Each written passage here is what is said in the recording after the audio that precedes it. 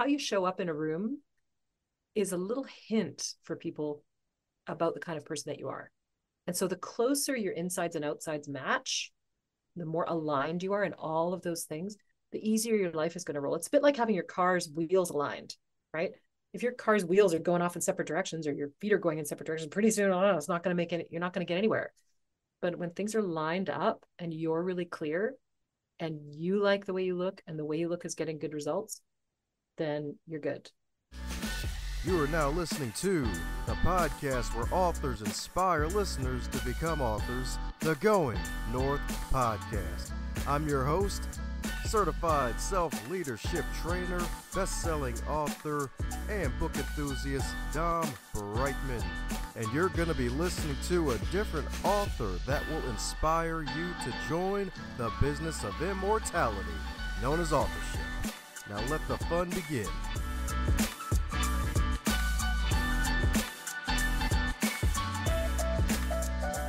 Today's episode is sponsored by both books Going North Tips and Techniques to Advance Yourself and the follow up bestseller Stay the Course The Elite Performer's 7 Secret Keys to Sustainable Success. Head over to Amazon.com, pick up both books. They are available in a trifecta of paperback, audio, and ebook. Cop all three of both and be on the lookout for another book from yours truly to help podcasters succeed. Now, let's get on with today's episode. And today on the highlight reel builder for authors known as the Going North podcast, we got another super special, awesome human for you today, courtesy of podmatch.com, the wonderful site where podcast guests get to connect with podcast hosts. And if they're cool, they're freaking in. And if they are not cool, then they just get freaking ignored. And this is a guest you definitely want to not ignore because she is a super special, awesome human, folks, because she is a prolific author of multiple books, as well as a keynote speaker, a certified coach through the ICF, as well as a professional presence expert. So, my goodness, my goodness, you're going to be in for a treat that's good enough to eat five times over, indeed, because you're going to find your healthy image today thanks to this wonderful human right here, the kind and lovely yourself, the one and only Katherine Lazaruk. How you doing today, Katherine? I'm doing very well. Thank you for all your kind words. That was quite an introduction. No pressure. there you go they were make a book called Top 10 Biggest Lies, no pressure is one of them. That's right. trying to think of what, what, oh yeah, anyway. I'm still trying to think of what would one of the other top 10 biggest lies be? Hmm. it's fine. That that would be it. It's fine. How is it? It's fine. yeah. Yeah, that's that's probably even higher than uh no pressure. Yeah. Yeah. If Maybe. you're if, if your spouse say, Hey, it's fine, nothing's wrong, it's like, all right, well, I'm about to go on a five week vacation. When you find yourself, I'll be back. if it's still mm. if it's still fine, I'll go for two days. Let me stop. it's like I gotta play mind reader, psychologist, salesman, underwater basket weaver, and scuba diver. Yeah. I, yeah. I don't know. I don't I don't play those games. My husband and I we don't play those games. I we do not mind read. Like you can intuit how somebody's doing, but it's always better to ask just always better to ask and communicate. Use your words, people. Just use your words. Heck yeah. That's what I'm talking about. Use your words indeed. That's right indeed. Well, speaking of words, I probably only got a limit when it comes to introductions, and I probably only covered, I don't know, what, 100 maybe? 75 out of, I don't know, 7.5 million of them. So my goodness, mind filling in any cavities I may have missed about you on how you became the Katherine that you are today since your first time on the show. Well, yeah, I'd be happy to give you a nutshell of sort of how I got here. A million years ago, I finished my degrees at school, right, when I was a kid, and I studied the opera and I studied education. So my first outing in the work world was singing in the opera so I did that in San Francisco and Vienna and a few other places in the world and teaching elementary school music. And it took me about 12 years and a lung tumor to figure out that those jobs were not for me. and yeah, and when I was diagnosed, my husband said, You have to leave these jobs. They're killing you, literally. And that's the thing about those two careers, even though they sound pretty great, you know, that's not a bad job. They're both really quite narrow. They're like small box parameters. They got narrow parameters, right? And so I'm not a very good small box person. But I didn't know that kind of until that moment. Like I'd always felt kind of squashed and I didn't know that. But anyway, and when I got when I got diagnosed, I thought, okay, this is it. I had no plan. I mean, I had tenure. I would have had to kill somebody to get fired. Like, I had a good job, pension, the whole thing. And I'm like, nope, gotta go. And so I focused on my health and I started working with a coach. And six months later, the tumor was gone. And I had a job doing corporate training at PricewaterhouseCoopers, which is a, and a big accounting firm, sort of global organization. And in the in the middle, when I was working with the coach, I was sort of having that existential crisis that we have from time to time. And he basically was kind of an alpha male dude, and he was sitting at his desk, and he's like, "Well, what do you want to be when you grow up, little lady?" Yeah. And yeah, I know. And it, like, I mean, today I'd be like, "Don't talk to me like that, man. You're fired." right? But at the time, I laughed, and I literally had this bizarre vision. Like for anyone who's listening, like a visual thinker, I don't know if you're a visual thinker, Dom, but it it was super weird because I've never had anything like this since, and I had never had anything like this before that. But I literally had a vision of the first company name I ever used and the first tagline I ever used, which happened to be ICU Image Consulting, and it was intensive care for your image was the first tagline. It just came a big download, and I started to laugh, and I was like, "That's not even a real job. Like, who does that job?" And my coach, to his credit, said, "No, it's a real job. You could do that job." And because there's no regulation in the industry at all, like you could hang your shingle out tomorrow and say I'm an image consultant and nobody would blink. It's completely unregulated. I thought, well, I don't know, I look all right. Know, I've read some books. I'll just get a website and some business cards and start practicing. so that's what I did, which I don't recommend to anybody now. I'm like, please get some training because right, please get some training. And the reason being that when you start talking about image issues with people, that's very intimate. It's very tender territory and you really need to know what you're talking about in turn not just in terms of the physical clothing piece but you need to understand the psychology and you need to be careful with people self image right? Encased in that sort of world. So then you know i built my business up around my corporate job like many people do. And when the recession hit in sort of 2008 2009 the corporate contract ended and i was like okay i think this is a great time to start my own image consulting business continue it for real in the recession. And my husband told me a couple of years ago, actually, he said, You know, when you said you were going to do that, I thought you were crazy, but I didn't hmm. say anything. And I'm like, Good husband, right? And, and so, of course, this many years later now, and it's still okay. So I went to Toronto and I got my certifications in image consulting and advanced image consulting there and I interned at the company and the woman who runs the company liked me. So then she made me her Western Canada image trainer. So in addition to my private practice, for many years I was also teaching consultants how to be consultants. I taught the business of image at Langara, which is a, a college here in Vancouver. And so, you know, fast forward a few years, and my clients are moving up the chain in their corporate their corporate lives, and they said, "We really want you to come and work with our executive teams, but we can't. We're tired of explaining to the people that write the checks that you're not really an image consultant. And I'm like, okay. They're like, you're obviously more than that. Like you're doing coaching and you're like very well rounded and you're good with business. So like you're obviously more than that. So we need you to change your change your name. And I'm like, okay. So I changed to Lazaruk Consulting and now I can do what I like, which is always my preferred state of affairs.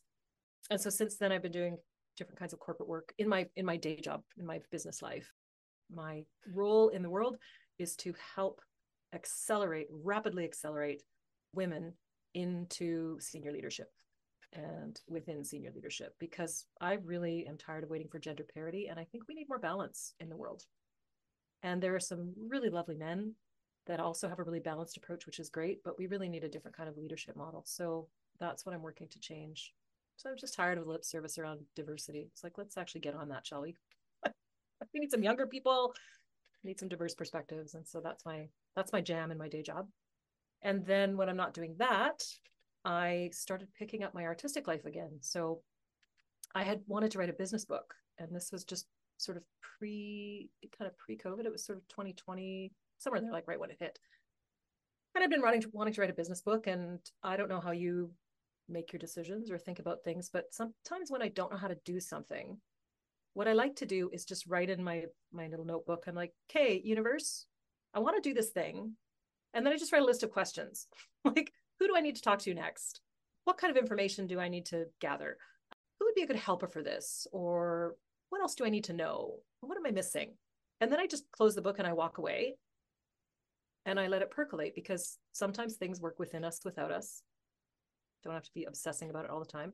And eventually an answer will come through. So I did this for this business book thing because I have no clue. I've never written a book. I don't know how to do it. And about a week later, again, I got this sort of insight. It was like, oh, right. I think my friend Tina, who I knew through business networking, I think she's doing a story coaching thing. Like, I think that's what she's doing now. So I email her. I'm like, hey, are you doing a story coaching thing? You help writers do their thing. And she's like, yeah, I actually, I'm doing a retreat in, this was like October, I think 2020. And she goes, I'm doing a retreat in November, which is socially distanced and, you know, all that. Do you want to come? And I'm like, yeah, I want to come to your retreat. And so I get to the retreat and I tell her I want to write this business book. And she, her whole thing is about helping people write the stories from their soul. So, really, like what work is being called into the world. And so, as we got talking about it, it became really clear that I had another book kind of knocking at the door. It, like, you know, right? Writing a book, sometimes you just have something on your mind that you need to write first before you can write the thing you set out to write. So, the first book that I wrote is called Love is Not Pie Variations on a Monogamous Theme. Lovely book and it was based on uh, my husband and I are polyamorous, and so this book details the journey from our sort of monogamous, our monogamous, um, functionally monogamous relationship into a polyamorous relationship. And it was sort of like over four years, I had this relationship with a man outside our, my marriage, and I wrote him a lot of poetry. I was inspired and so when I printed out all the poetry, it was like a big stack. I'm like, okay, that's like three or 4,000 words of poetry, which is a lot of poetry. And so I show Tina this thing, and she's like, okay, great. Well, we need the backstory. So I'm like, okay, I'll go write the backstory. Write the backstory. She's like, okay, la la la, you're in love. We get it. Haha. Uh, now we need the now we need the teeth. She's like, she's very yes and kind of coach, which I appreciate. Now we need the teeth. And I'm like, oh, I can write the teeth. I write the teeth. And then she sh- helped me shape it. And then we took it to friesen press which is a, a, a, company here in in canada and published it and have not looked back. Um, recorded the audiobook for it. So all of that's on amazon if people want to look for it. And it's been really fun. And then i went to write my business book again and then i still couldn't write my business book because this other book came out so after I kind of cleared out the whole attachment wounding, love is not pie, you know, all the all the romance craziness with that, then it became really clear that in order for me to really reclaim like my singing voice and really go forward with this artist self piece of me that I'd kind of sublimated a little bit, I was like, okay, I've got some unpacking like family of origin, father relationship stuff to unpack. And so my second book, Songs for My Father, uh, uh, came out. I, I, it just sort of fell out of me, and I wrote that. And to do the book launch for this one, instead of just throwing a party, I actually took significant songs from my artistic life. So all the way like musical theater from when I was like ten or twelve and winning trophies, all the way up to the vintage jazz I'm doing doing now. So there was some musical theater, there was some cabaret, there was some burlesque stuff, there was some art song, some opera, and now this vintage jazz. So it was this smattering of different tunes and I hired four of really killer musicians here in Vancouver. And I said, Hey guys, this is my idea. Here's the text. We're going to take some excerpts from the book, and here's the songs, and we're going to use excerpts from the songs, and we're just going to play, play and hang out and rehearse something until something shows up. Are you in? And they're like, Yeah, we're in. so, so we did this show, this like one woman show of, of the songs for my father as the launch uh, at Tyrant Studios in Vancouver. So if anyone ever comes through Vancouver and you want a great jazz bar, Tyrant Studios is awesome and it's above a strip club. So you have to be like you go into the strip club and then you go up and around the corner. And that little studio is actually all the greats have played there. It's just the perfect hole in the wall jazz club. It's tiny. Anyway, really lovely. So we did that. And then now, now I have a third, there's a planned seven in this particular series. It's sort of like my change work as I'm getting older. Like why why I wrote them was more like they're like a purgative. Uh, they're very cathartic for me to write them. It's a way for me to, it's like I have this experience and I've processed all the feelings and now it's contained in the book. So then I'm finished with it, which is a, I don't know, it's just the way I write books. It's some of the reasons why I write my art books. Because it's art, right? I'm expressing myself and it's it's out there. So now I have the third book of the art series is underway now. And I'm finally writing my business book. Like, you know, trying to trying to get on that. And then the fourth book in the series, fourth book in the art series is after that. So I've got, and then the, the other three, I kind of know what they are, but they're not fully formed. So you're an you're a multiple book author, so you understand, right? It's like you always got like three or four things that you're thinking about, and three or four things on the go at any given time, and you know, you try not to talk too much about it until it's fully formed and it's kind of coming out. But I had a great experience writing my books. It was really, really fun. And my Friesen Press was great um, in their guidance with that. And getting a writing coach was great because it's difficult. It's di- if you're not an editor and you're not like you have something to say, but you don't know how to say it, having someone really help you with it is a, a great strategy because otherwise you send your stuff in you know and, and you get slammed. It hurts right? You know if you send stuff in that's not really ready for publishing that's that's tough. Um, so yeah that was kind of how i got here. I got here lots of therapy. Lots of self-discovery. Lots of commitment to it's like what was i meant to do here on the planet? Well i'm going to go do that then. And i'm going to do all the digging that i need to do personally to do it. And i'm going to find all the people i need to help me do it and I'm going to do it because maybe this is my last time around. I don't know, but I'm going to have a good time. Leave something behind. Uh, as I'm talking about indeed, leaving something behind indeed. That's right indeed. That's right indeed. So writing all the magical books to eventually get to the business book. Is do you even have a working title for the business book yet? not yet. Not yet. I'm I'm just it's still really new. So it's something that I'm I, I try not to talk about things before they're really because everybody says that, right? Oh, I'm working on a book. It's like, okay. right. But it's it's yeah, not yet. But thank you for asking. Okay, I got you. I got you indeed. So my goodness, my goodness, I love and pie. it's kind of funny. Yeah. I usually joke pre-record and be like, "Yeah, so we're going to talk about penguins and pie today," and I forgot to mention it, and it's like, "Oh, now I remember why I forgot to mention it because that's in your title." my title. Well, it's funny. It's funny because like people are like, "Well, why that?" And I'm like, "Well, because love is not pie. Like if I give you some love, still have lots of love to give other people, but time is pie." So if I give you a slice of time, I can't give somebody else that slice of time. Like until we get into the quantum physics realm, can't do that. So if there's a little bit of a joke in the polyamorous community about we some people sometimes say you shouldn't say you're coming out as polyamorous, you should say you pencil in because the, the scheduling is a little can get a little bit uh, challenging if you have multiple partners, which I don't, but people do, right? So it's very interesting. It's a very it's very interesting stepping into this phase of my life and claiming and naming everything that exists for me. Like not hiding anything just standing right up and saying hey this is who i am. Take it or leave it. This might be a function of being over 50 i don't know Ain't nothing wrong with that. That just means it's another chapter in the magical book of life. That's right, indeed. That's right, indeed. So, why the polyamory? Was it like boredom? And it's like, let me get out of here. Let's try something else. no, not at all. Not at all. Um, I actually, it actually is interesting. This is what I really like about the younger generations right now. The younger, ah, I sound like I'm 80. What I really love is the the what they're bringing to light are words for all the things that I had no words for growing up. So when I was young and I started to date, I liked lots of different people. And I could never really understand the drama around I'm dating one person, but I really like this other person too. And why can't I spend time with them the same as I like? No relationship is the same right? Every relationship you have, you're learning, you're growing, you're a different, you're expressing a different facet of who you are.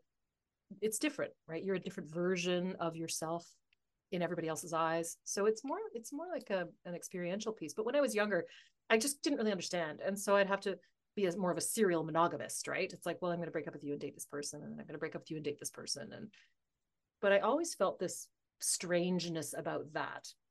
And so, of course, I did want to be married because also our society is pretty full of compulsory, you know, mononormativity and heteronormativity. Um, I didn't want to be married. They call it the relationship escalator, right? There's there's a great book by Amy Gahran. She's a journalist in Colorado who interviewed 1,500 people who have very unusual, just have different relationship styles. And she wrote this book called Off the Relationship Escalator, and it really outlines the way Western society sort of puts you on this this escalator where you're like you're dating and then you get more serious and you get exclusive boyfriend girlfriend and then you move in and then you get married and maybe you have kids. Like the pinnacle of the escalator is you're married with kids and you die right? But you could at any time choose to step off the escalator right? Because like your friendships stay at the same level. I mean they might deepen become more intimate over time but you know there's no there's no need to escalate except it happens kind of automatically because that is what is expected of you. And i wanted to be married specifically because i wanted to know who i was in that container. And i wanted to see how i would grow in that kind of relationship with that level of commitment with that level of honesty with that level of depth. I wanted to do that. And so um, when i met my husband it's interesting because there was this other person this other man who was also interested but he didn't really tell he didn't say really clearly that he was you know wanted a shot and so that's uh, he's actually the other the person in love is not pie because I always said, I'm like, man, if I had another chance to hit that, I'm gonna, I'm gonna take it. And then it came around again, and I'm like, well, and my husband and I had always had discussions about, like, before we got married, we had all the talks, which is good to have before you get married, about, you know, how do you handle money? How do you handle family? What do you think about sex? What are your deal breakers? And my my husband and I took lots of long walks, and we had very in depth conversations about that. And when it came to deal breakers, I was like, okay, well, abuse for sure that's a deal breaker. I'm out. Addiction, mm, if there's no improvement, like if someone's in recovery and they're trying to do something that's different, I'll stay around all day for personal growth. But if you're going to go down the addiction hole, I'm not going with you. You are out. So there's that. And, you know, the other deal breakers. And I was like, when it came to adultery, I was like, meh. But like, don't lie to me, right? Lying, don't lie to me. Deal breaker. There's no upside to lying to me. Just don't lie to me. So by the and we always talked about like celebrity hall passes you know like hey you know i said to my husband i'm like look if you are in a room with scarlett johansson and she says she wants to go to bed with you you should go like because you can just tell me about it later you should go do that so we always joked about that kind of thing so then when this opportunity came up and i said hey you know it actually was a we were playing a game on new year's eve called big talk uh, which is like a series of questions on cards that you can use as conversational jumping off points. And I said to him, What have you always, he said, What have you always wanted to ask me but never have? And I said, Well, if you could have other relationships, would you? Because he also never had any other relationships before me. And I didn't think it oh, would wow. be fair. Yeah, I didn't think it'd be fair if he had an opportunity for me to say no just because we were married, because I really firmly believe that relationships are how we grow. And so if you have the opportunity to take to have relationships that's a good thing to do. So and then this opportunity came and i said you know how do you feel about that? And he's like okay. And we're like we're great communicators. You know we can handle it. No also do not recommend. Like zero out of ten if someone is considering if they if you think you're poly and you're thinking about changing the dynamic of your already negotiated relationship i deeply recommend getting a counselor who understands poly. Definitely do some reading like go read polysecure go read uh, more than two go read ethical slut go read those things. Get some education like go make some friends in the poly community and prepare yourself for the the emotional mental management that you're going to you're going to need a lot of depth and control to be able to handle the increased emotional load. Right? Because it's it's complex. So he and i actually kind of crashed and burned like in just like four or six months in was the summer of hell. And i went to see a counselor that i knew because i was like oh my gosh like what's going on here? This is terrible had this great marriage and now we're this is not going well what's happening and i went to see her and i i talked with her and i said you know i said i think i'm polyamorous and she's like duh she's known me for a really long time uh, and I said, I think I'm bisexual. And she's like, duh. And the funny thing is, is, anytime I said anything to my friends about what was happening, they're like, yeah. They're all hmm. right. You know how your friends sometimes can see things you can't. So, in any case, uh, I went home and I'm ugly crying on the couch. Like I went into the couch and I'm telling him everything and I'm ugly crying. And he's on the other end of the couch and he's listening like he always does. He's an incredibly patient, incredibly smart, really multifaceted, deep dude. And he looks over at me and he goes, Oh, I thought maybe you misunderstood me. Because I had said to him, Look, if I'm poly and you're, mo- you're if I'm polyamorous and you're monogamous, that's a problem. That is a fundamental renegotiation of a marriage agreement and maybe that's not going to be okay like maybe we maybe we'll need to split because that's a big deal. So anyway he goes i thought you misunderstood me and i was like oh and he goes i'm i feel that way too i feel poly like i think that's me and i'm like okay thank god. And so from that that was like rock bottom and then it was like a rebound. It's like okay now we're on the same page now we're going to figure it out now we're going to work on our communication skills and not only that but this whole that whole experience going through all of that deepened our marriage immensely. And the reason is because then you're forced to discuss things like what does loyalty mean to you? What does fidelity mean to you? What's jealousy look like? What is really intimacy? What is privacy to you? What kind of communication patterns do you want to have? How do you want to handle upset? How do you repair after rupture? Whereas sometimes people walk into marriage and they have no conversation about any of those things. So it's difficult but this particular this particular orientation like the way we are has forced us to really very deeply consciously examine what we're doing in our relationship. And it's been great. So great. Uh, you know bar that first rocky bit it was great. And then when the outside relationship ended, we actually decided to close our relationship for a little while and, and get some counseling and and get and then we did all the things that I recommended people do before they even think about it. Right. Then we got our counseling and then we did our reading and then we made friends and then we started to date uh, other couples and now we date separately and right now we're not dating anybody so so it, it's like any other kind of relationship flow it's pretty pretty normal so it wasn't at all boredom because my sometimes I joke about my husband. I'm like, 20 years later, I'm still not bored. He's definitely not boring. But it was more like, this is how we are. And we luckily now live in a in a place where that's actually safe to be open about that because there are certainly places in the world um, i actually went on a date with a guy from turkey and he's like oh no you'd be like no you cannot you'd be stoned in the street i mean of course he's exaggerating i hope he's exaggerating right but yeah, for sure. There are places in the world that it's not safe to be someone like me. Right? Not safe to be a woman, first of all, not safe to be part of the LGBTQ world, and certainly not safe to be polyamorous openly. Right? But I think, you know, we do not, we sometimes in our political worlds try to pigeonhole people when people cannot be pigeonholed. People are a va- there's a vast spectrum of the ways that people exist in the world. And I think it's a mistake to try to box everybody in. But I do really appreciate the younger generations for bringing forward words to describe things that I felt. And I think that's great. So, no, it wasn't boredom to answer your question. Did that answer your question, though? Ah, yes, indeed. Yes, indeed.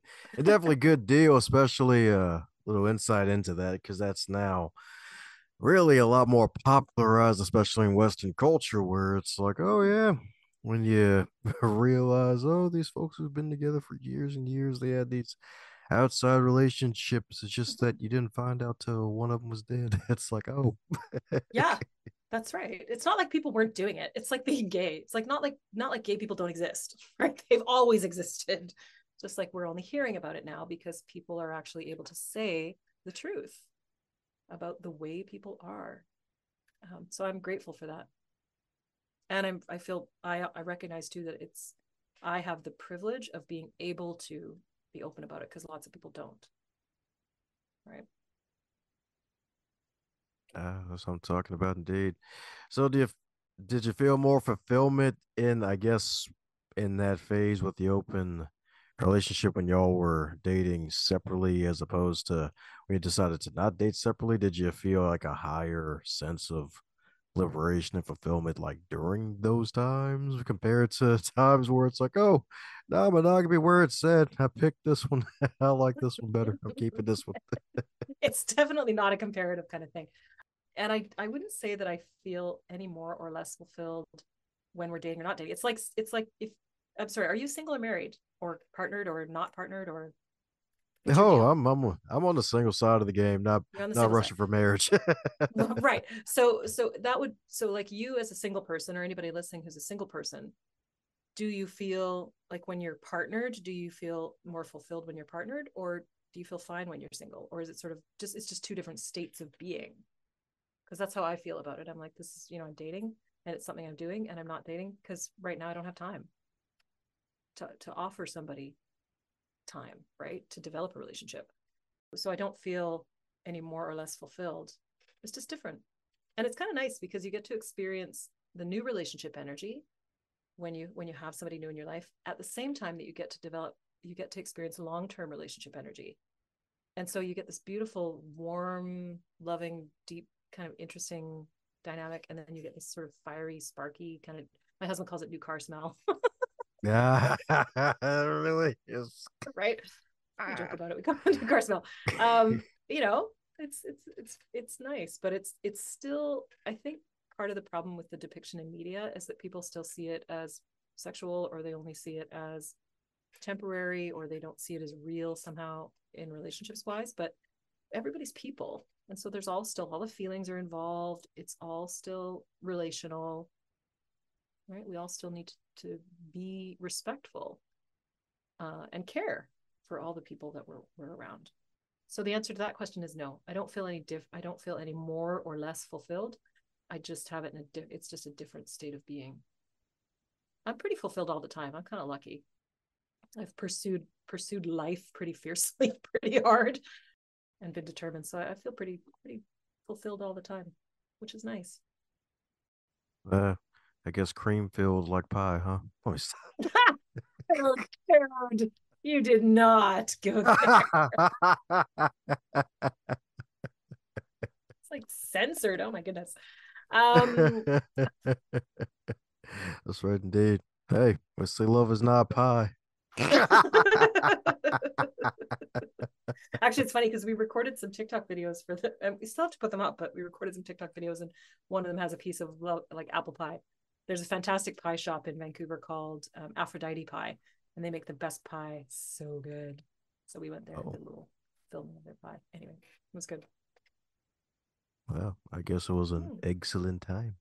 it was. Those were salad days. yes, indeed. Yes, indeed. So, my hmm. goodness, is there a question that you wish you'd be asked more often when you're on these podcasts? I get asked lots of really great questions. Hosts are always really good at asking things that are interesting. Um, what do I wish I got asked more often? Hmm. Is there something you wish you asked people more often? Yeah. You're actually the first person to actually flip that one on me. Uh, not really, but I got this one for you since you're an entrepreneur. So, with entrepreneurship, there's going to be some setbacks along the way. So, has there been a major setback that actually ended up setting you up for success? All the time. That happens all the time. I think it happens in life too. When I started the business, of course, it was a recession. So that was, you know, economic conditions were what they were. And I had a total dark night of the soul. Like I didn't have any savings when I started it. I just had a line of credit that was clear and I had clear credit cards. So I was financing everything myself just through through debt, basically taking on debt to grow. And I made an investment in a coach because I didn't know anything about business really. And so I invested in a business coach. And that year, my business doubled, partly because of the coach, but also because he he's very blunt. And when I first started my business, I was really into self expression. So be your true self, wear what you want, love what you wear, you know. So my own look was a little bit eclectic. And so I came in to work with him in his fancy boardroom and I sit down with my five subject Hilroy spiral notebook to take notes, my glitter pen. And he walked into the room and he looked at my little book on the table and he left, said nothing, walked out of the room. Then he comes back in with one of those Hilroy, uh, sorry, one of the, like, you know, the Moleskine books with the bookmark, the hardcover, like notebook. And he puts it down on the table and he said, I want you to transfer all of your notes from that into this. And I never want to see that on my table again. And I was like, damn, right, exactly. And I was like, what do you mean? My clients love how practical I am, down to earth. These are great books. And he's like, what kind of consultant are you again? And I went, Mm. eh, an image consultant. And he goes, exactly. We don't live in a vacuum. So there are expectations no matter where we go. There are expectations of what you might be. And you can choose to buck those expectations, but then you're going to be spending a lot of time explaining to people why you are the way you are. So you can be your unique self. I'm all for that. And we don't live in a vacuum. So it's something that needs to be considered. So it was partly me adjusting my appearance. So it was still me, but more elevated, more polished, a little bit more elegant. Also because I was starting to do more corporate work and I needed to honor the environment that I'm in. So I would wear a suit, but it might be a bright blue suit. Um, you know, I would wear glasses, but they would be funky glasses, as you see. Those kinds of things. So it's really important to consider if you're thinking about making a change in your own life, think about who you are as a person and then the other things that layer out from that. And your and your industry is one of them and your company is one of them and your culture is one of them and your geo- geographical area is one of them. Vancouver is very casual. Not very hard to look good in vancouver because most people run around in fleece. So if you make the slightest effort you generally stand out. Whereas if you're in someplace like new york it might be a little harder to standout, right? Because geographically the, the fashion quotient is higher. So anyway so i had i i basically had this dark night of the soul kind of prior to that and i was just literally like snotting down my face going oh my god i'm going to lose the house and what's going on? And i was like okay okay universe god you did this to me. I'm doing what you told me to do. You better send me a sign.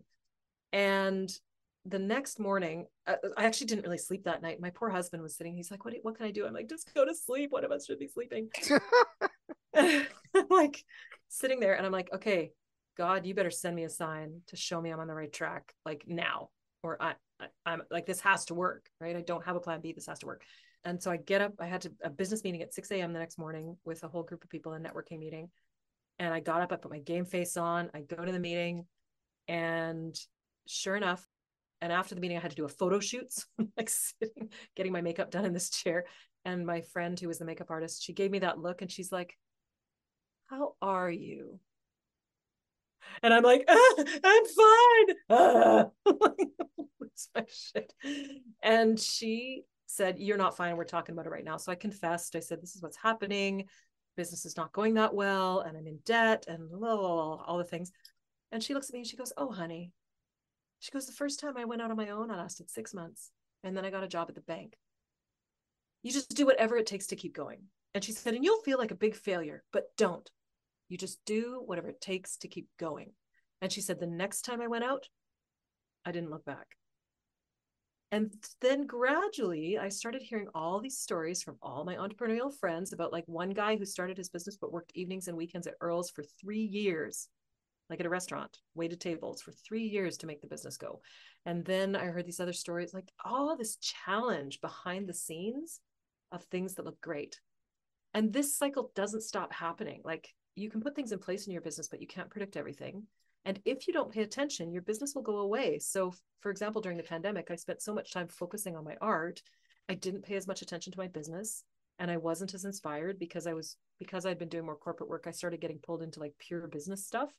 So my clients would say, "Hey, can you come facilitate like this work back planning session?" And I'd be like, "Well, I can." And I would do it because I I love them. But I'm like, I don't really care. I don't care about that. Like anybody could facilitate that if you want to have a really difficult conversation, that's my jam. If you want to be a whole person at work and you want to show up and look as look as good as you are and be amazing, that's my jam. But somebody else can do the other planning. So I wasn't very inspired. And sure enough, you know, I made some bold spending choices based on the fact that I thought some of my corporate contracts would renew, and then they didn't. So then I was mm. operating at a loss. This many years in, this established, I had my best year ever revenue wise, I did not pay attention to my money and it went away. And it was like, okay, well, now I'm operating at a loss. Now what am I going to do? So, you know, pick back up my financial tools and pick up my cash flow statements and pick up, you know, the pieces that I need to pay attention to and start paying attention and start working again and being like, okay, what do I want? And so then I refocused everything and started again. But I have this, it's a little bit like it's a little bit like when like you're swinging on a trapeze and you reach out for the next thing and you're like ah. so fall but i can i can feel it i can feel the momentum building and i know that it will get better and it always does that's the other thing is you know it always gets better so i have a lot of faith and i ran on fear for a long time as a motivator but fear as a long-term motivator is really hard on your body it's hard on your mind it's hard on your heart so i changed a few years i don't know a few years ago i was like i'm going to go faith not fear and my mantra the whole year was faith not fear faith not fear faith not fear because I kept thinking about the worst thing that could happen. But then I'm like, well, what's the worst thing that's ever happened? And I'm like, well, it was never that bad. So the evidence suggests that that's not going to happen. If you continue to work and you continue to show up and you continue to plant seeds and you're on the right track. And if something is really not working, like just like you're digging and you're digging and you're digging and you're digging, it's not working, it's not working, not working, try something different.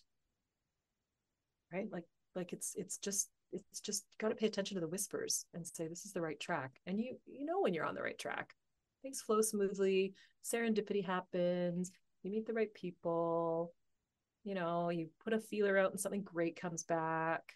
Not every not every seed you plant is going to grow but some of them start growing like you could feel it. And if you're constantly getting blocked and you're having to force everything all the time to me that's a huge sign that it's not the right time or it's not the right thing and you need to regroup. Doesn't mean you don't stick with the hard things, but if something constantly feels forced, it's like just back off, back off. Maybe you need to run away for an afternoon, go to the beach, come back at it later, right? Sometimes you need to run away just briefly. Don't run away forever. That's not work. That doesn't usually work. come back. But yeah, it's it's definitely I've had lots of setbacks where they've set me up. I have a feeling that this one's going to be good this last little punch is sort of okay okay this is a good learning opportunity for me this is sh- this is highlighting something where i really need to take care and pay attention and so that's what i'm doing now and it's starting to turn around which feels really good that's we'll what i'm talking about what's going to happen i don't know but i'm going to show up i'll be there when it does Heck yeah, indeed. Heck yeah, indeed. So many great things and gems to highlight. One of them that popped up into my head that still I freaking love is to honor the environment that you're in. It's like, yeah, be you, but at least dress like you care about yourself. It's like, hey, don't go too far off the deep end. right. Yeah. Unless your goal is to be a total challenger, which you can do, but then you can't be upset when people challenge you. Right. So you have to you have to accept because I'm a challenger for sure but I aim for like about like not like over the line. like like I aim for like I'm going to be like 10% over the line so that I'm far enough over that it sort of wakes people up and makes them think, but not so far that people aren't listening. Right? But then when people push back, it's like, well, I can't be upset about that because I just challenged them on something. Anyway, thank you. I'm glad that was a nugget for you. I like it. Honor yourself, honor the environment you're in.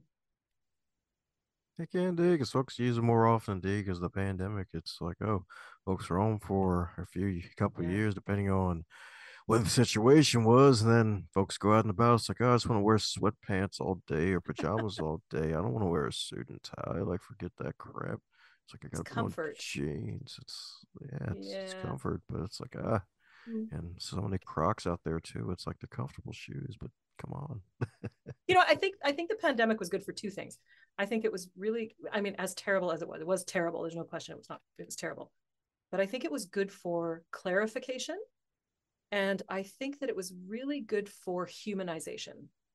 And my hope is that what we take away from it is connection and humanization from, from that. And we keep those parts and that we also get to keep the comfort in the sense that, okay, we're going to have work now that is better suited to the people that are doing it. And if you're going to wear a suit, you could make it a comfortable suit. Those exist. If you're uncomfortable in your clothes, that's that's the clothes fault. Like don't buy those clothes. Do something different. Buy clothes that fit you. Doesn't matter what size you are, buy clothes that fit you. And you'll feel better. And you'll look better. Heck yeah, indeed. And bring back essential worker traffic. I miss that so much. Oh yeah. Just the low traffic levels. yeah, yeah, exactly. Like bring that back. Like I don't know how we can do it. Bring it back. Like, dude, folks like it's a ghost town to scare them like man get y'all freaking extroverts, man. I'm an introvert on this road. Bring back the ghost town, baby. Like, yes, nobody cutting me off or nothing. This is beautiful. That's right, indeed. Yeah, that's right. My husband loved it. He was, yeah, he he was working like uh like two weeks in the office and two weeks at home, and so when he would drive to the office, he loved it because he's also quite introverted, and he just loved the no traffic, no stress. He loved it. All the introverts did really well. People that uh, are ambiverts, like I'm, a little bit of both. It was harder, but uh, yeah. One of my introvert friends was like, "I'm in the best shape ever. I've been working out at home. I feel great. I'm like, nobody's talking to me. It's perfect." like Good for you. That's right, indeed. Well, since you're an image consultant and you're probably the one of the rare actually have on the show. Oh God, I think I haven't had an image consultant or at least somebody with image consultant experience at least for God knows 750 episodes. So yeah, so yeah. That's a while. Well, because I mean, not, you know, you might have an image consultant who's an author, but what are they writing about, right? Oh yeah, good old life branding indeed. So when it comes to healthy image, a healthy self-image, what are the top three things folk needs to keep in mind? Uh, well, self-image, Im- those are sort of overlapping things. But for self-image, like if you're thinking about who you are as a person, self-image, I think it's very important to remember that you are. There's no one else like you in the world. And if you, I, I heard this anecdote one time where life is like a potluck dinner and you bring your dish to the potluck and you season it the way you're seasoning it, you cook it the way you're cooking it, and you've taken all the care and you bring it to the potluck. And if you don't come to the dinner, somebody else doesn't eat because they can only hear a message from you. They can only eat your dish and they starve if you don't show up to the potluck. So I think anytime you get into that hole of like worrying about or wondering whether or not you provide value, you're here, therefore you provide value, you exist. So that's the first piece is like really owning the fact that you have value, not attached to any of your accomplishments, not attached to anything material in this world, but you as a person have value. That's the first one. The second piece, I think, to remember with self image, healthy self image, or developing a healthy self image, is you're not the stories other people tell about you. Because when you're developing as a child really your parents function is to be a good mirror for you. So when you say hey i'm an artist your parents are like yeah great go do that thing. Or you know if you're out of line they're like hey that's a little out of line. Like they're good reflectors for you to help you develop who you are. And if your reflectors maybe weren't the best reflectors. They had their own stuff going on. You have to do the work like you, you it, like once you're an adult it's too like it's your responsibility now. Like whatever happened to you as a kid it's your responsibility to do your own work to make your life fulfilled. And so if your mirrors weren't that great you need to find new mirrors and you need to create your own and need to understand that the stories other people tell about you are not your identity. That's not everything that who not everything that you are. Um, so do some work around that and i think the last thing to remember is the coach that i'm working with now i'm really enjoying working with him. And he said he describes confidence. He's like to have confidence in a self-image. He goes all it is is knowing that you can help somebody. That's it. So if you're struggling with your self-image one of the things you might want to think about is how do i help other people? Small things. It could be like can i open the door for this person? Can i i don't know help them clean up their grocery cart or uh, you know small like the smallest thing all the way to the biggest thing i can help you change your life right? There's something you can do in there to, to feel more confident just to help somebody else i think is a really good way to do that to help foster sort of bolster your self-image. And go i love the quote go where you're celebrated not where you're tolerated. So if the environment that you're in doesn't feel like a good fit go find an environment that does fit. Go find the people that see you. Go find the people that celebrate you. Go find the people that value you so those are three pieces for self-image and then for image image like your outside image you need to take all that stuff you learn about who you are. That has to be the first part because who you are is going to affect how you feel about what you put on your body. So, for example, I really like to be comfortable and I don't feel good when I'm not comfortable. So, I don't wear things that are not comfortable. I wear things that are stylish, I wear things that fit, I wear things that are the right coloring for me and good for my body shape, but I feel good in everything that I wear. I feel unique and interesting in what I wear. So, you really need to think about kind of who you are as a person and then you need to think about your environment. It has to make sense, has to be congruent. right? If you are a Reiki master and you are telling people you're dressed like a Reiki master and and you're like in flowing, beautiful, colorful ribbons and scarves and all those things, and you tell someone that you're a bank CEO, that's going to create cognitive dissonance for the person that's meeting you. And it's going to be harder for you to gain credibility and to show the world who you are if you don't look like what you are. And as much as I hate the sort of don't don't judge a book by its cover and i believe that people do have inherent worth people still do judge. We're still visual. People still have their their filters and files. So it's very important that you consider the environment that you're in and try to find a middle way between those things. And then the last piece is you have a lot of control. You have a lot of control over how you are perceived and not from the place of um, you can't control people's responses to you but if you make all the details line up people are likely to know you more quickly because it's a little bit like it's a bit like an appetizer, right? How you show up in a room is a little hint for people about the kind of person that you are. And so the closer your insides and outsides match, the more aligned you are in all of those things, the easier your life is going to roll. It's a bit like having your car's wheels aligned, right? If your car's wheels are going off in separate directions or your feet are going in separate directions, pretty soon, oh, it's not going to make it, you're not going to get anywhere. But when things are lined up and you're really clear, and you like the way you look and the way you look is getting good results, then you're good. But you really have to think about those three things. So, who you are as a person, how it makes sense in your environment, and then control the details as much as you can. Get a haircut, get clothes that fit you. If you go to Value Village to get them, if you go to Saks Fifth Avenue to get them, doesn't matter. But you have a lot of agency and a lot of control over what you put on your body and how you show up in the world. You have control over your behavior. You have control over your thinking. You have control, even though it might not feel like it sometimes. And you might have to work really hard to create new neural pathways for good thoughts if you've been programmed with bad ones. But you have a lot of control. So don't forget that. Don't forget that you you have power. Even if it feels like a tiny amount of power, you have power. So exercise it responsibly. Heck yeah, that's right indeed. Exercise your power responsibly. That's right indeed. That's why I say drink responsibly. That's right indeed. Right.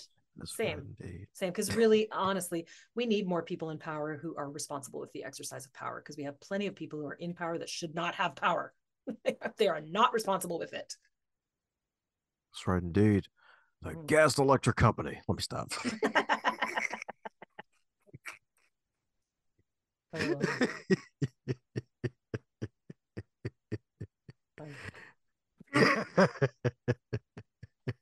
there's a corn cob on your nightstand tomorrow, you know what happened.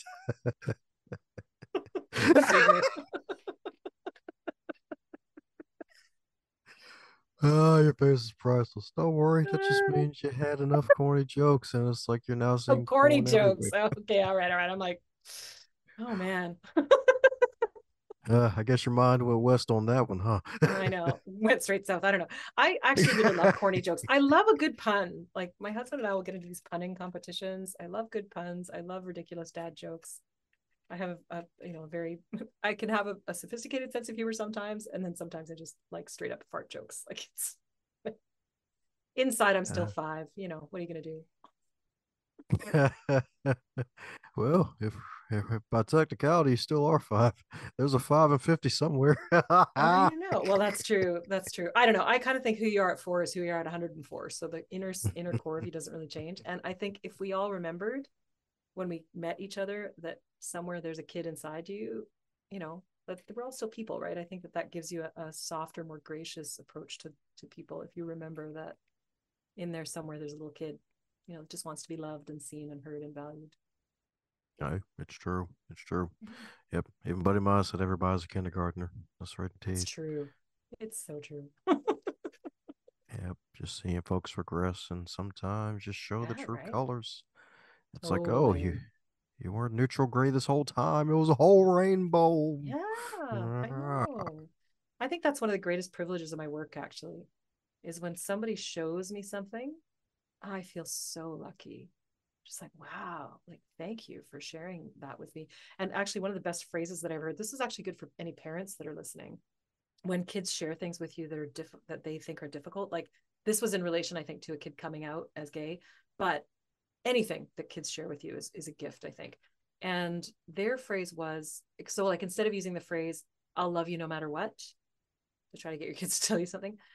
The phrase is, thank you for sharing that with me because everything you share with me just makes me love you more is a great phrase. And so i've used it to good effect on the on the team. Like i don't have children myself but i have a lovely um, 17 she'll be 17 tomorrow uh, my daughter's friend and uh, got other lovely you know our friends have kids and i really my fabulous auntie uh, gets to come out. And it's it's i've used that phrase to great effect with them and to with some adults too. It's like everything i learn about you just makes me love you more uh, so your auntie meow all right there we go Oh man, sweet. So my goodness. So if your fabulous book, your fabulous book, Love is Not Pie, if that book were a food, what would it be and why? It were food. Oh my God, it would be a banquet of sumptuous, delicious things. And the reason is because it has a lot of variety in it in terms of tonality. I use a lot of different words and I like to repeat some words. So you might be eating the same thing twice, but not in a different way. Yeah, it would be a banquet. It's very varied, I think and it's delicious. It's like a completely rounded experience of description. And there's some sexy bits, so that's fun too. Actually, my husband listened to the audiobook because he was transcribing some stuff and he listened to the audiobook and he was like, damn, you could have warned me because our our arrangement is like he doesn't he doesn't like details. He doesn't want to know. He's like, Did you have a nice visit? I like the details. I love the details. I want to know everything. Um but yeah, uh, so the audiobook is quite nice as a read as well. So yes, if it if it were if it were food, it would be a banquet of different kinds of food. It's delicious. I guess there was a cucumber on the nightstand and you wake up in the morning instead then. maybe. Maybe.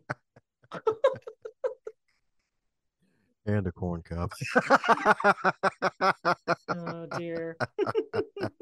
That's right, indeed. Keeping it corny. mm. It's an all-you-can-eat banquet. it ain't just go. a buffet; yes. it's a banquet. that's that's true. That's true. And then songs for my father is, is different. It's it's a little bit spicier. It's a little bit more like, yeah. What would songs for my father be? Songs for my father. If it were a food, it would be a prickly pear it's not easy to digest and it could be painful, but still worthwhile, I think. Ah, there we go. That's right indeed. So have a cactus in your life, y'all. That's right. Let me stop. right. totally. Well, that's kind of I don't know. Sometimes that's what life experiences are, right? It's Lisa. Lisa, what's her name? Lisa Nichols. I quite liked her. She was she's very. I find her quite inspirational, and she said sometimes you get the gifts wrapped in sandpaper, right? And sometimes life experiences are like that where it's it's tough but then you get a beautiful gift out of it later. But you don't always know it's a gift when it's coming. Heck yeah. Sometimes it hits mm-hmm. you like a jack in the box. That's for sure right? Good yeah and if you don't listen to the nudges from the universe eventually they'll hit you in the face with a two by four run you over with a mack truck. So it always pays it pays to pay attention to the little nudges first Heck yeah. That's right indeed. Pay attention to all them nudges indeed. So my goodness, my goodness. Speaking of nudges, we're coming down to the magical question that every guest gets to receive. Okay, and all right, I'm ready. If... she's ready like Freddie. I love to see it. Well, yeah. Wake up tomorrow and you're 25 again, but you're still in the current Ooh. year. What advice would you give to yourself? Got it. So wait a second. So I'm 25, but not when I was 25. I'm 25 and it's 2023. Yep, you're basically a millennial. Oh God. oh, what would I, I wouldn't want. Oh my God, I would not want to be a 25 year old now. I'm grateful that I was a 25 year old when I was a 25 year old. So, I, so hang on. Let me just clarify. So it's I'm 25. It's 2023, but I know everything I know now. But mm-hmm. I'm 25. Mm-hmm. Oh well, um, then I would say I would I would get on my budgeting software. Well, but I already know what I yeah. So I'm 25. Sorry, was the question what would I say if I was 25 or what would I do if I was 25 now? Like if I was now.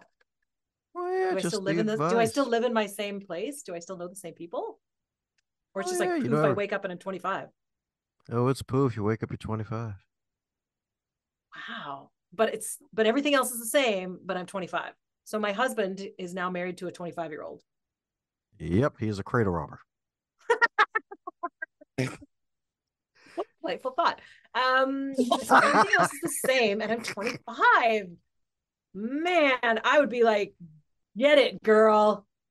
Be like 25, take those investments and do the work and buy stock. And oh man, I would take all my financial knowledge now, put that to good use. I'd buy more real estate. I, I mean, I would do those things anyway, but yeah, I, you know what? I don't think I would do much different. I would probably just go and do some work out harder. like, like take better care of my body now that it's 25 again. I probably I'd probably say take really good care of your body. Even better like I didn't take bad care of my body, but take better care of your body. Get stronger, get faster. Yeah. That's what I would do. I would sort of sort of aim for stronger, stronger, higher, faster. If I if I woke up suddenly and I was 25. Man, that would be a trip, hey? What would you do? what would you do if you woke up at 20? Well, maybe you are 25. I don't know how old you are, but yeah, uh, what would you do? I'd be I'd be going back six years if that was me. yeah, I was working. so you are a millennial. Oh, so like you're basically asking what advice would I give millennials now? Uh, master yourself is what I would say.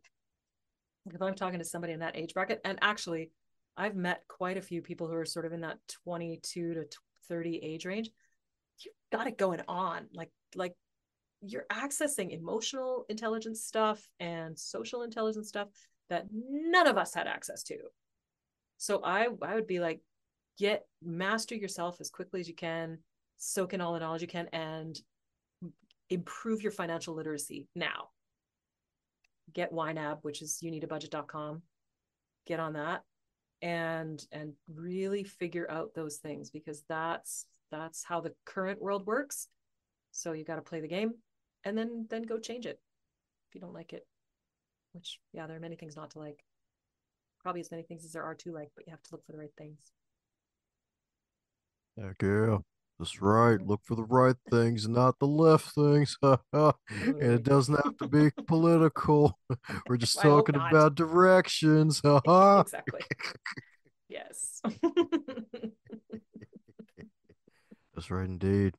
It's like, yeah, yeah the, good, the good old USA is like, yeah, left wing, right wing. Look at us, the same damn bird. Shut up. Like, oh, that's crazy, right?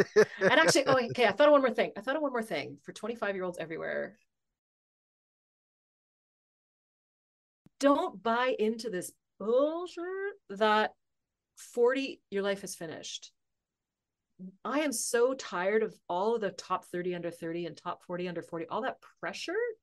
So much pressure life is long and the back half as far as i can see like i would consider myself to be a bit of a late bloomer because i didn't start my business until i was 30 like bef- just before i was 40 it's like 38 39 when i started and i didn't write my book until so i was like say i'm 52 now so i published my first book when i was like 40 49 50 and i'm working on more things my business is going i would like to see the top 100 under 100 that would be a list that I would be interested in seeing uh, on how they would measure it. But so if you're 25 and you think that you think that you have to have it all figured out, you don't. You absolutely do not need to, and your life does not end at 40. In fact, for women, it is pretty much just beginning at that point. So don't don't buy into the hype. Do not buy into the hype that you have to have it all by 40. That is ridiculous. That is the dumbest thing ever. Don't do it. Don't buy into it. Don't do it. Sweet. That's right. Don't buy to it, indeed. And funny enough, um, my running joke for folks in the certain number group, you're already 25 by default if folks are dyslexic. yeah, I mean it's super weird. I asked my mom one time, like when she got she's getting older, and uh, I asked her, I was like, "Do you ever like go by the mirror and be surprised? Like you're like, whoa, who's that old lady?" And she's like, "No, I know what I look like. I look in the mirror every day." I'm like, "Oh." And I said, How do you feel? She goes, I feel the same. I'm still the same person. Like, and you do have a little bit of that sameness all the way along. So don't don't be afraid of getting old. Getting old is like really fun. So much fun. That's right, indeed. And this interview's been fun on the bunch. So you're welcome back anytime on this freaking show. Thank that's you. what I'm talking about. indeed. That's right, indeed. That's right, indeed. Pod match wins again. So for those who I need know, to, I love Pod match. I love Pod match. I think it's a great service. My goal is to book 52 appearances this year, so I'm, I'm partway there. There you go. I'm guessing this is number 25. no, I think this is number 12, actually. Even dozen, I think, so far. Uh, out of the bookings, I think out of the, oh, I don't know. I'd have to go back and look, but yeah. Yeah, this is like somewhere between 8 and 12, I think. I can count. Uh, so I'm your preteen so and your eggs. I, I, you know, I mean, I think Podmatch is great because you meet really cool people. And we're, I don't know if Podmatch is paying you to say anything. They're not paying me to say anything, but I think it's a fantastic service. It's really cool. That's right. It's cooler than two cucumbers. it's an English cucumber. It's very, very, very, very super cool. I could tell we're gonna have a five hour interview. So my goodness, before the five hour interview appears, folks need to keep up with all the stuff that you're doing. So for those need to do just that, what's the best way for folks to do so?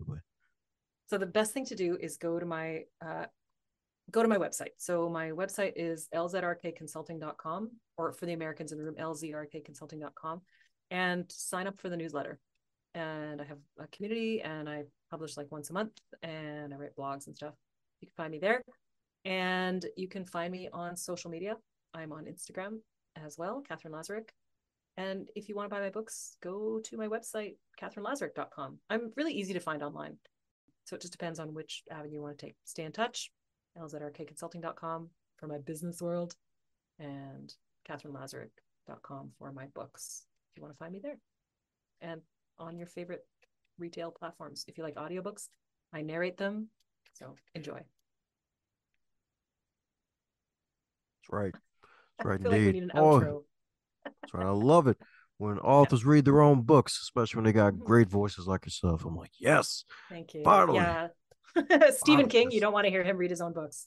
It's terrible. Yeah.